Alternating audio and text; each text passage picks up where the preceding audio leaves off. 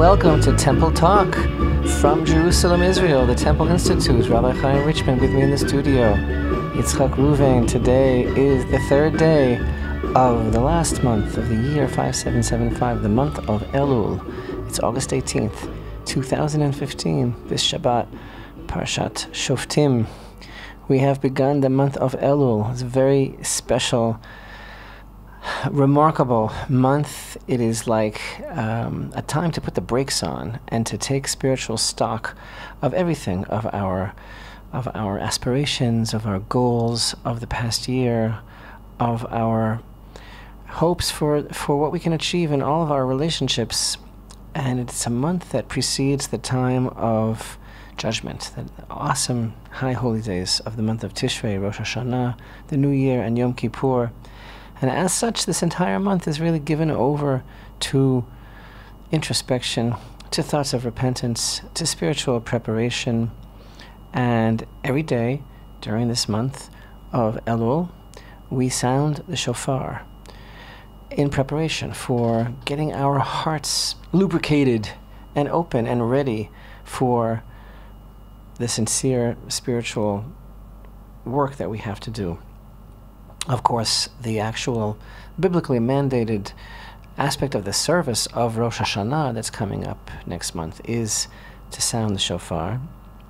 And this month, we also sound the shofar. It's kind of like a, an extra aspect of our service in preparation for Rosh Hashanah getting ready. And on Temple Talk, we have also traditionally always sounded the shofar on every Elul edition of Temple Talk for the benefit of our listeners, since the sound of the shofar has such an awesome spiritual power to wake us from our slumber and remind us of the fact that there's only one goal to life, and that is to become closer and closer to God, to come closer and closer to the people whom we want to be, and to break the barriers that hold us back from our own self knowledge self awareness and that hold us back from making progress on the road to spiritual perfection.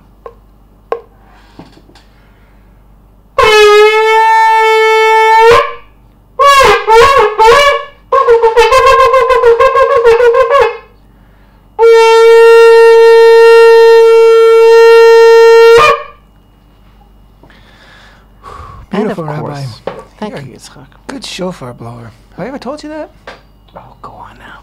No, now, of course, also, the whole idea of the month of Elul is that we are trying to really, like I said, put the brakes on, grab hold of ourselves, take a take a look at ourselves, and try to get right with all the things that we know need strengthening, need work in in our lives, in our relationships.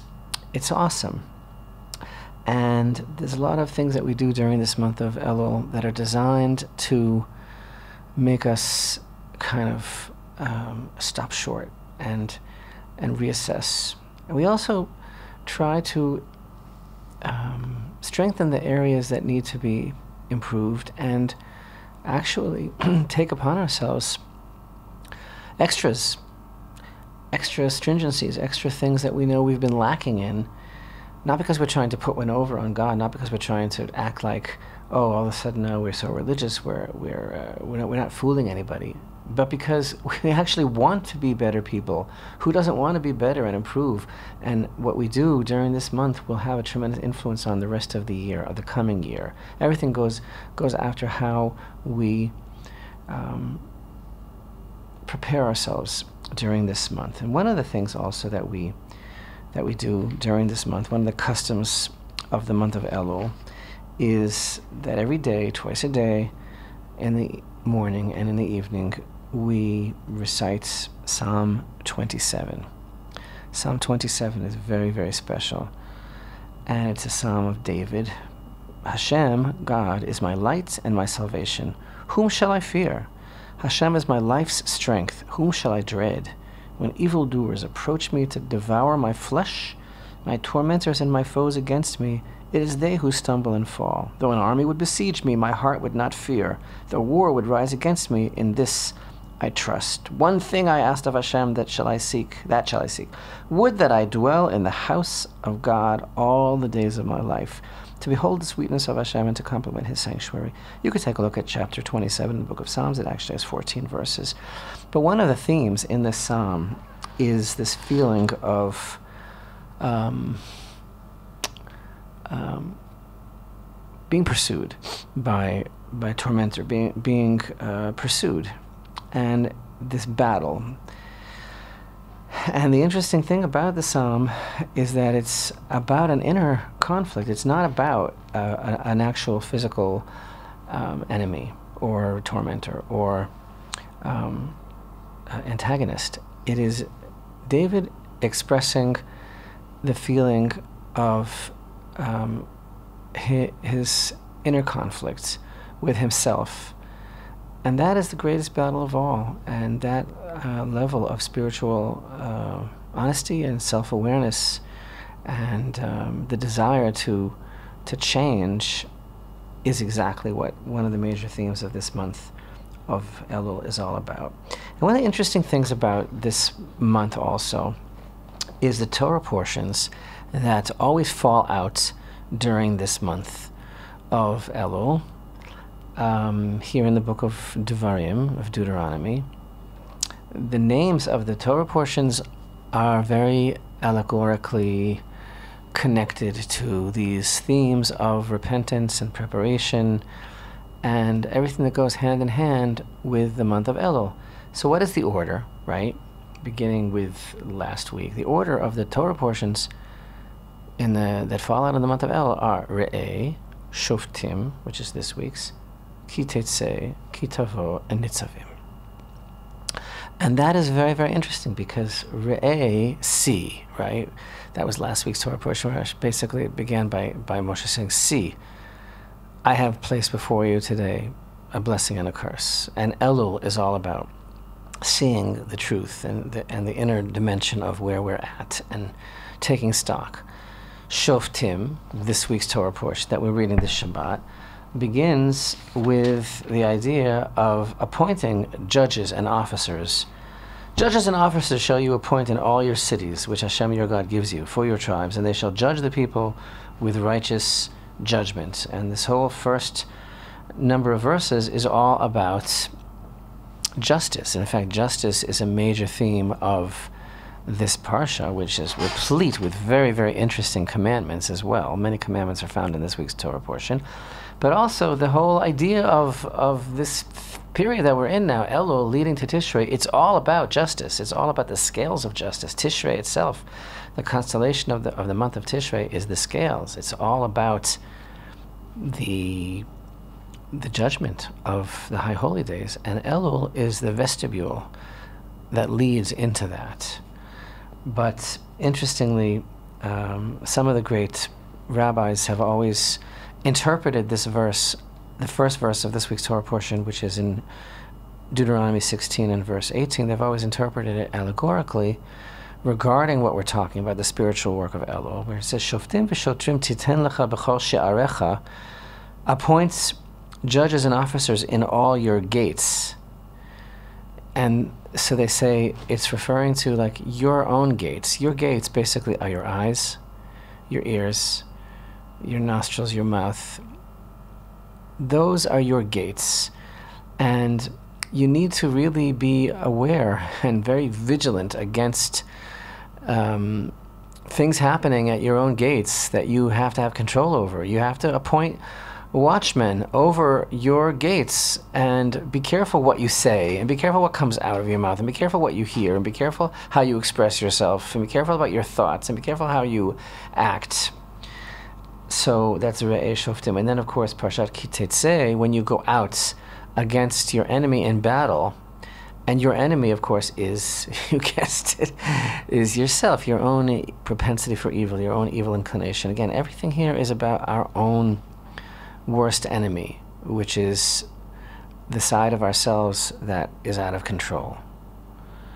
Kitavo is the next Torah portion when you come into the land. That's like already, God willing, when we are successful in this battle and we come into the land. Nitzavim you are all standing today before the Lord your God. So the names of these Torah portions are kind of like hints or allusions to the, to a spiritual progression and process that should hopefully be taking place within the hearts and souls and minds of all of us during this month as we prepare ourselves for the great and awesome time of Rosh Hashanah, the time of judgment. But besides being allegorical, of course, it's also real. It's also very practical.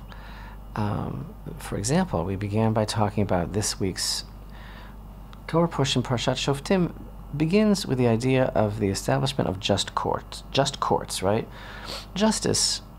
Judges and officers shall you appoint in all your cities which Hashem your God gives you for your tribes, and they shall judge the people with righteous judgment. You shall not pervert judgment, you shall not respect someone's presence, you shall not accept a bribe, for the bribe will blind the eyes of the wise and make just words crooked. Righteousness and righteousness shall you pursue so that you will live and possess the land that Hashem your God gives you. So, this is very much emphasizing the theme of justice and says quite specifically that you, you must pursue righteousness so that you will live and possess the land that Hashem your God gives you. But in general, as far as all humanity is concerned, righteousness is the basic foundation of creation. So, a very dear friend this week asked me a question, and I want to paraphrase it. I want to paraphrase this this um, comment that I received from from a very dear friend. Speaking about this week's Torah portion, which talks about the importance of judges and law enforcement and justice, and realizing, of course, that the the concept of setting up courts of justice is a universal law. You know, there are seven universal Noahide laws that are that are um, uh, obligatory upon all humanity, according to Torah. And the seventh Noahide law, as everybody knows, is setting up courts of justice.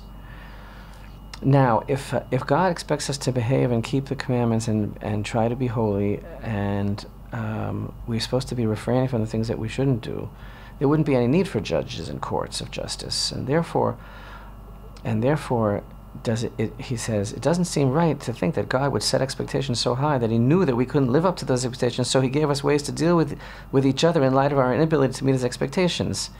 In other words isn't that saying like he doesn't really expect us to succeed or is this a way that he demonstrates that he allows us to have free will as the question is asking is if we're supposed to be just then why do we have to establish courts of justice so is that about our having free will or is it about hashem realizing in advance that we're all going to mess things up so here's what I would like to say about that. I think it's a very excellent point. And, and here's the thing on the backdrop of this week's Torah portion, the month of Elul, preparation for Tishrei. You know, the concept of justice is so huge, it is basically the building block of uh, creation. And it's what Hashem loves the most. And I don't think it's I don't think it's um, something to um, consider lightly. The fact that we have a tradition that the rabbis teach us that when God originally created the world, He created it solely with the attribute of justice. Now, here's what the Midrash says, and it's very, it's a very um, enigmatic teaching because obviously it means things on many deep levels because God doesn't change his mind. God doesn't need a plan B. But here's what the Midrash says, and it's a lesson for us to learn. He created the world originally with the attribute of justice, and seeing that it would not stand in that, that it, seeing that it would not survive, he tempered in the attribute of mercy as well, so that ultimately creation is a balance of an admixture of justice tempered with mercy. But the first thought, as it were, that God had to create the world was, was only, only with justice. So my answer to my friend is that, well, justice is the basis of everything, and therefore there can't be a world without a system of justice. And that's why I think Hashem commands us to have this, these courts and to, and, to, and to pursue justice, not because He's setting us up for failure or knows that we'll fail, but because it is impossible to have a world without justice, and ultimately, this is the human condition. Yeah, there is free will. But if it says pursue, pursue justice, then that commandment is you have to pursue justice. You can't just It's just justice isn't just there. You have to pursue justice. That's what it sounds like that's saying to us. Actively, you mean? Actively, yes. And so there is a mitzvah to be just and to be righteous, but there's also a mitzvah to pursue that. I'm just throwing that out there. And it's not always easy. It's not always easy. So, so, but what, what I hope that I'm, I'm, I'm, you know, succeeding in, in um, postulating and, and in, and in um, offering uh, some sort of answer to the question about about why we have this commandment. We have this commandment because because not only will everything fall apart without it, but it will anyway, and it's up to us, like you say. The, uh, God actually gave us a positive commandment to pursue it all the time. That's the human condition. To the extent that, and here it's like I'm ready to just stop the broadcast after this. This is like so powerful. This is like there's nothing else to say.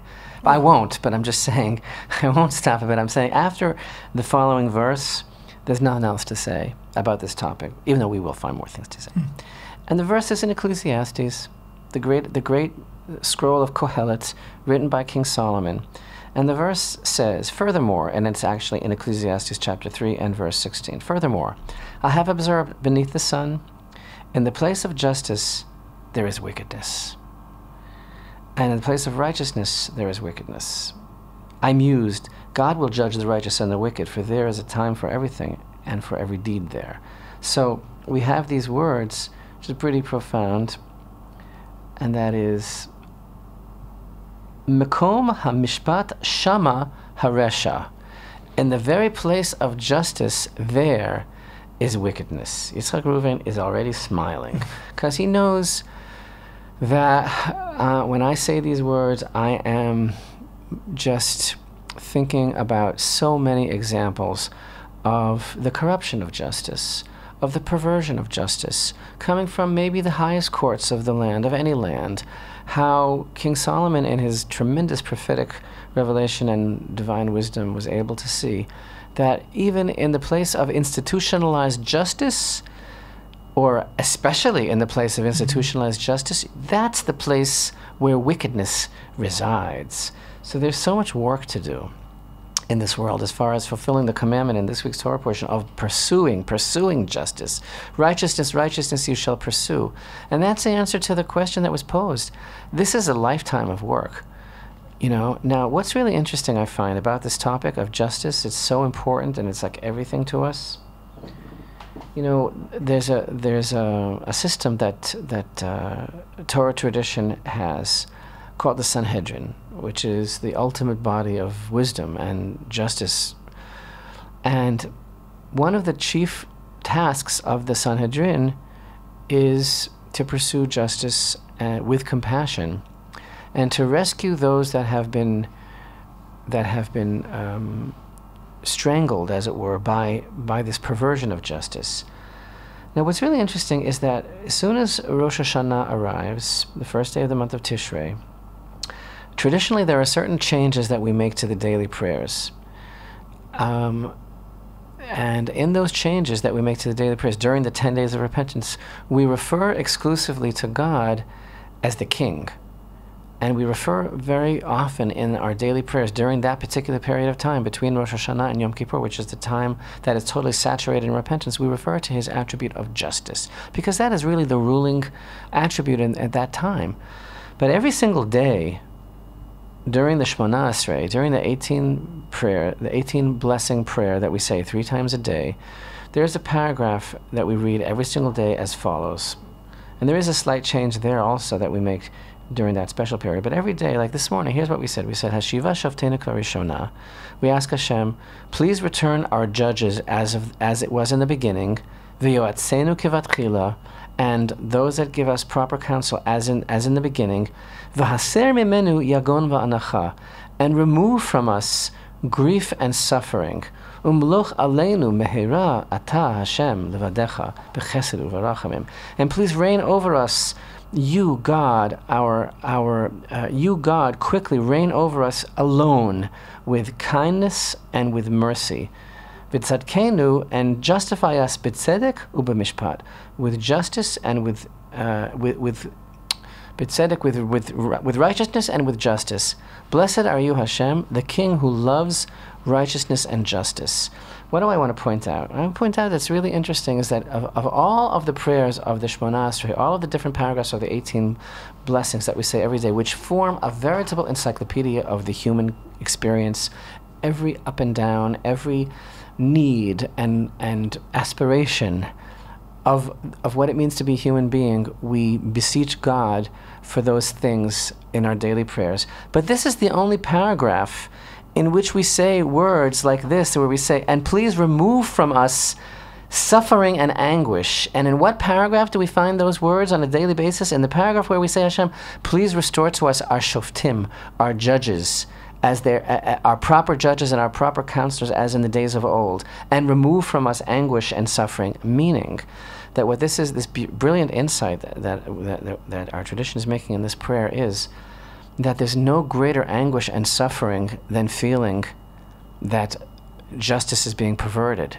When we're asking Hashem for, to return our judges, that's when we're asking for that. Please and please remove from from me anguish and suffering, because my anguish and suffering is coming from the fact that it's like I'm in one of those movies and like I'm banging against like a wall and and it's in slow motion, you know, and and I'm screaming and no sound is coming out because there's no one listening.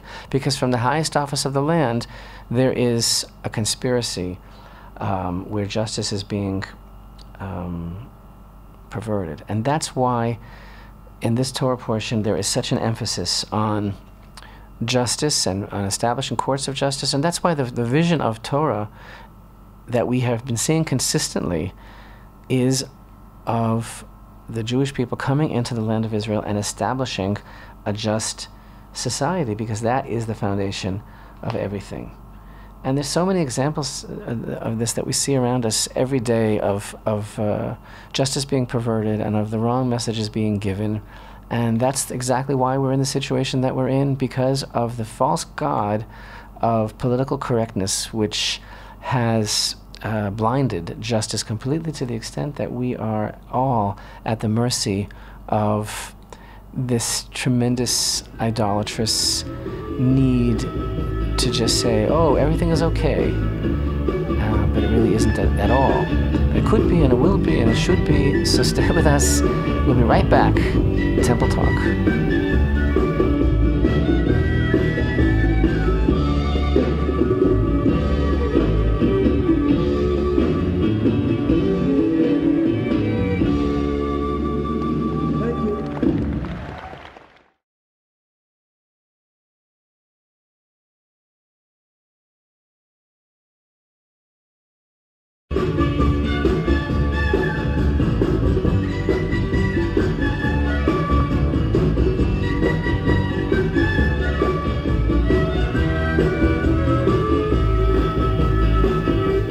Shalom and welcome back to Temple Talk. Today, third day of the month of Elul, 5775, 18th day of August, uh, 2015. And uh, a rabbi has been talking exclusively about Elul, about uh, the time of uh, taking stock, doing a little soul searching, trying to uh, uh, be account accountable, having accountability for ourselves, our actions, our thoughts, our deeds, and of course the never-ending quest to improve ourselves and be better people and draw closer to God, all in preparation and leading up to the new year, Rosh Hashanah, Yom Kippur, what's known as the High Holy Days or the Days of Awe. And of course, it's this intense period of introspection and tshuva. Uh, uh, well, how do we translate that as? Uh, we translate it as repentance, but it's it doesn't really work completely. The the English word repentance. Searching, it's stock taking. Repentance doesn't just mean.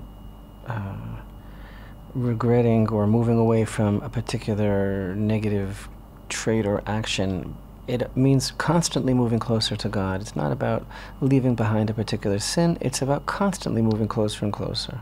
So, which is why someone who may be a righteous person could also be about tshuva. Absolutely. They're always drawing closer to God or trying to.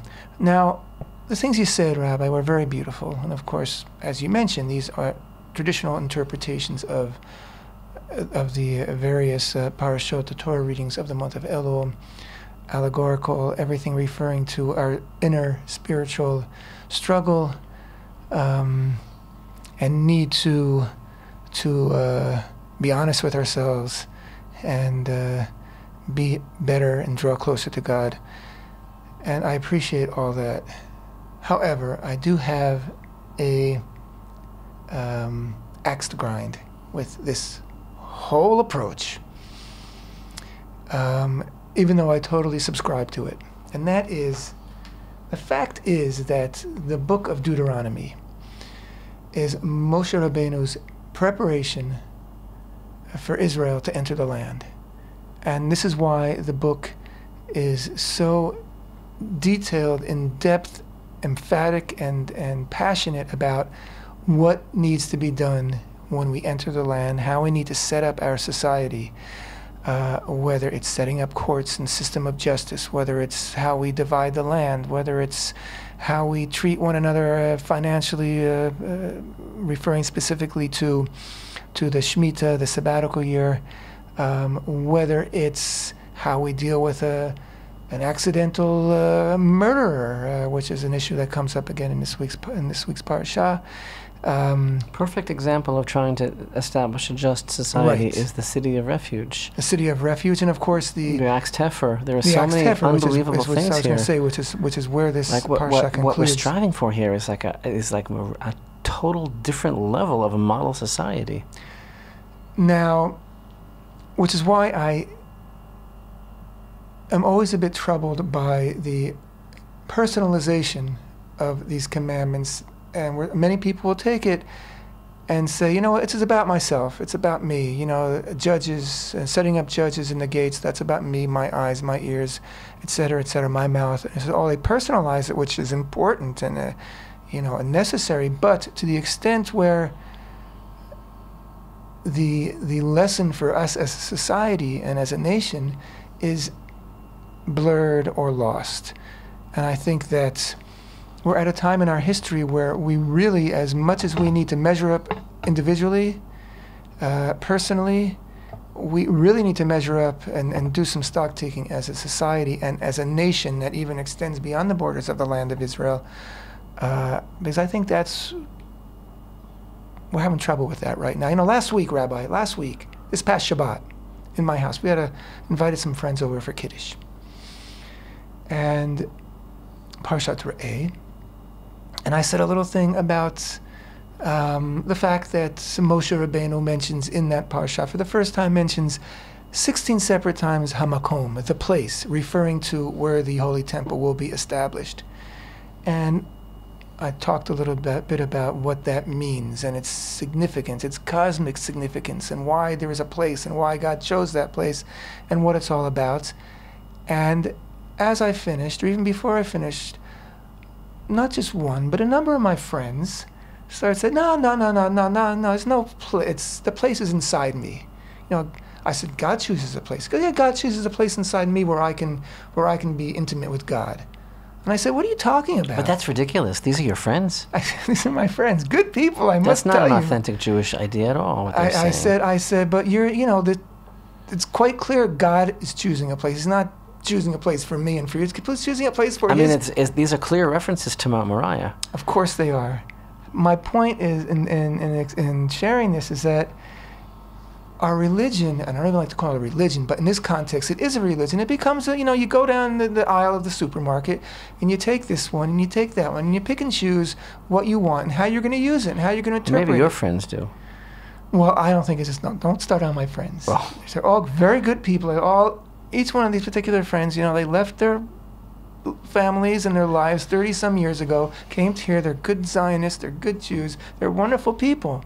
But again, people, this is, this is a malady that people, you know, and especially in today's times where everything is about me and I and everything's about consumerism, where, you know, you can cherry pick. Uh, So can I say something? I, w- I want to see you and raise you. I want to see Uh, yeah, you, see Yitzhak me and raise and raise you because there shouldn't be any contradiction at all between the two levels because a society is made up of individuals. And I the way I see it is that if there's a double whammy here. In other words, the to- Torah is, is obli- obligating us to be to so real and to be so completely, um, uh, you know, on the same page on every level. So, on the one hand, if every single individual would take responsibility for his own gates and her own gates and, and, and behave in, in the proper manner and set these parameters high and realize who we are and what our obligation is, that would in, in turn contribute a tremendous amount to society as a whole. Obviously, we've been talking for so long about the fact that all of these Torah portions are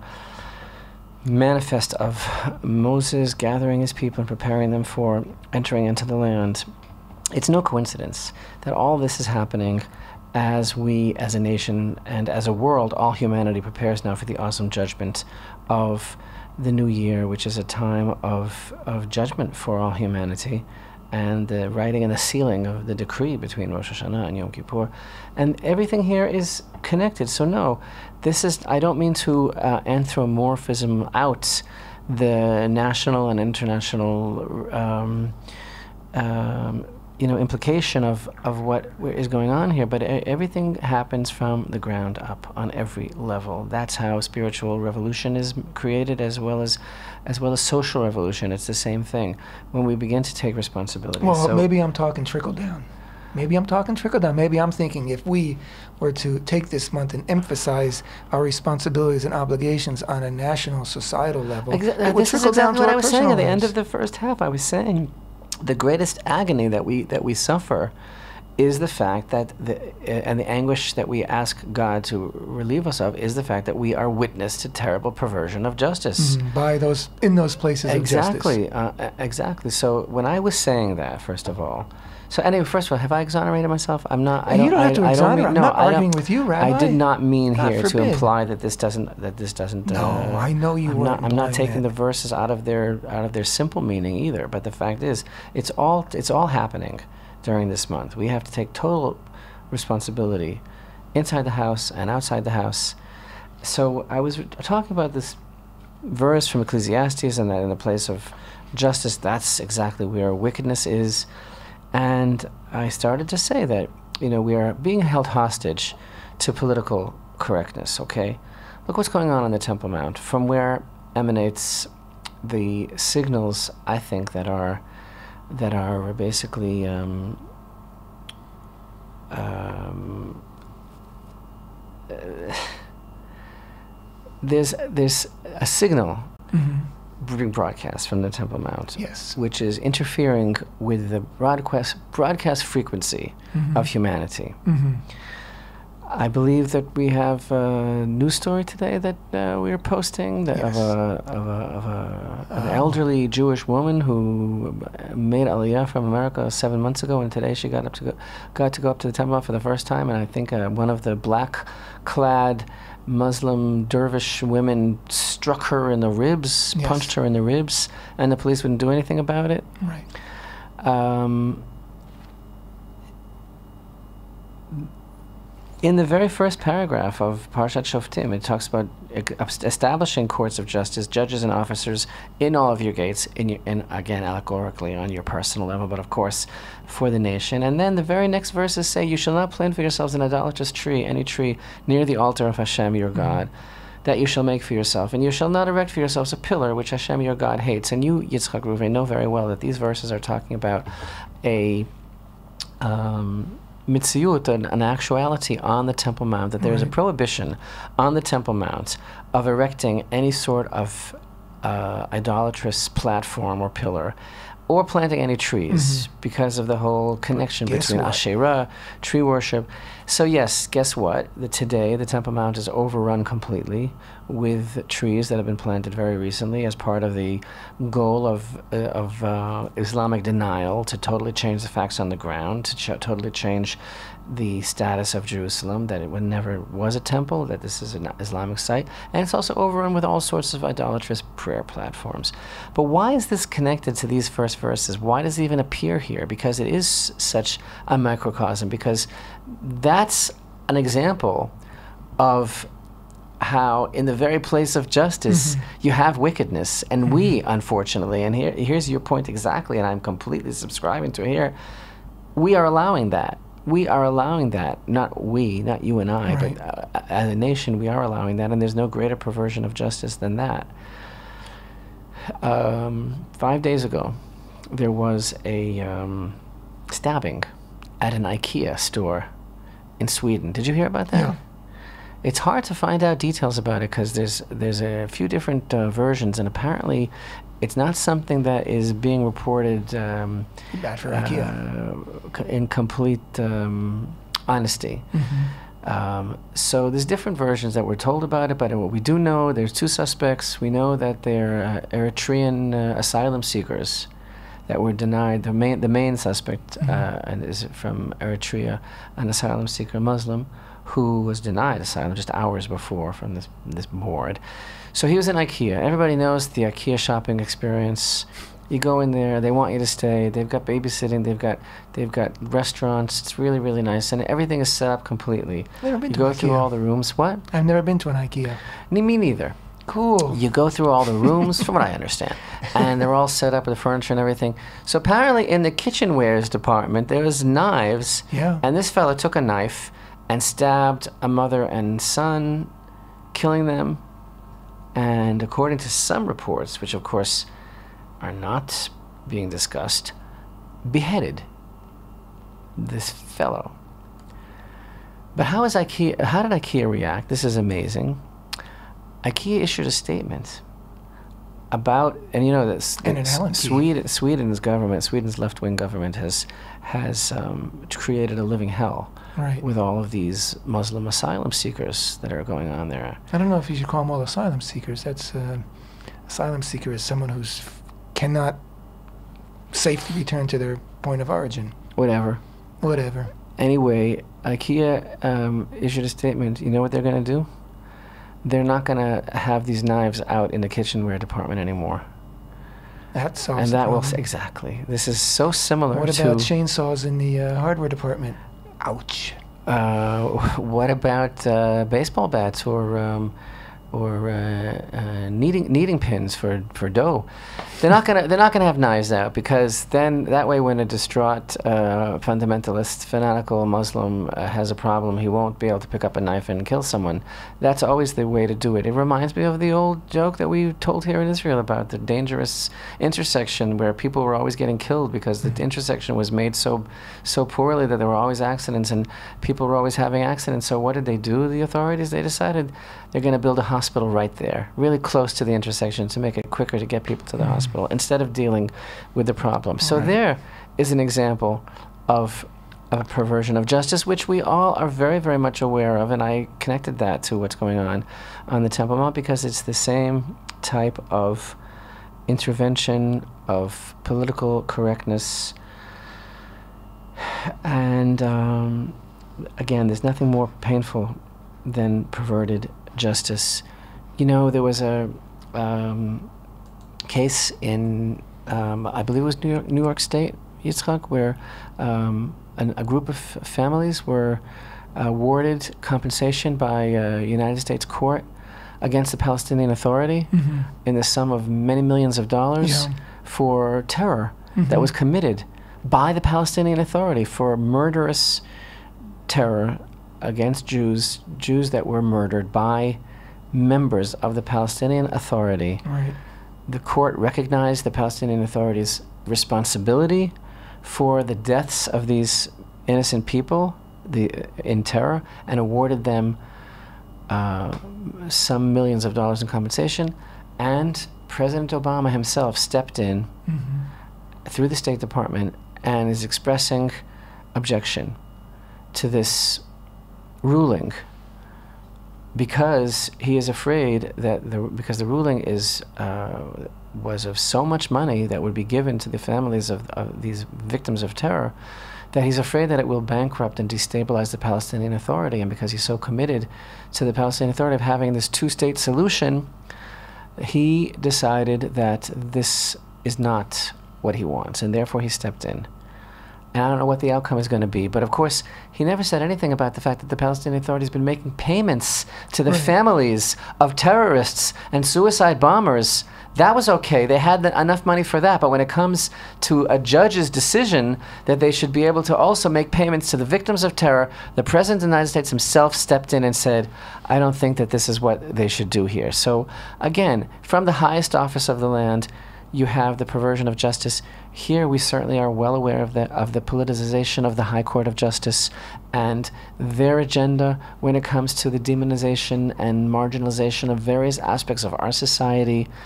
And this is exactly what our Torah portion is talking about. Mhm, You got it.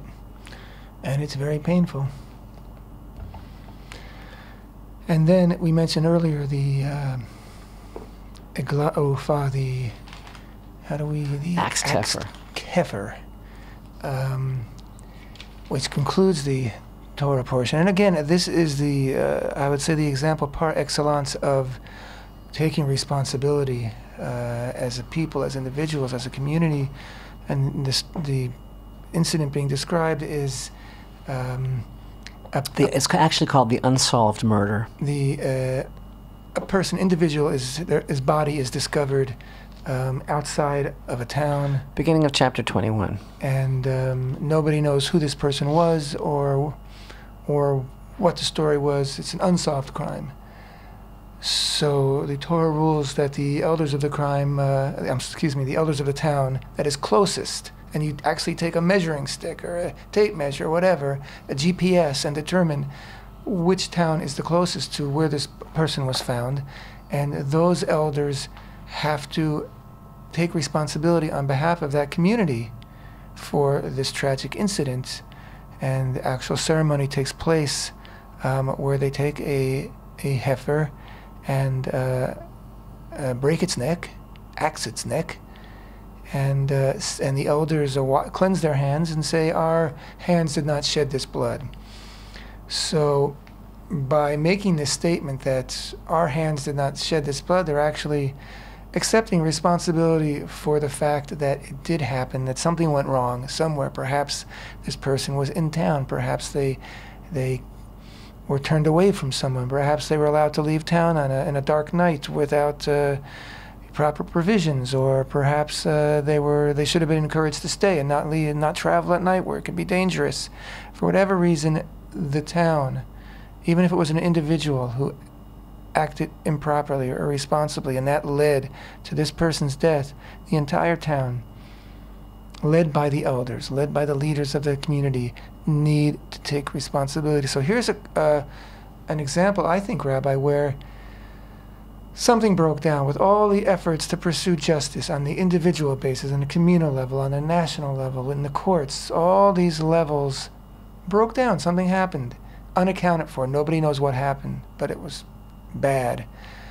There's a provision here, and, and this this may even go back to, to the question that, uh, that that you were asked that you they mentioned earlier. That yes, we pursue justice. Sometimes things go awry, and uh, horrible things happen, and we, we can't explain it.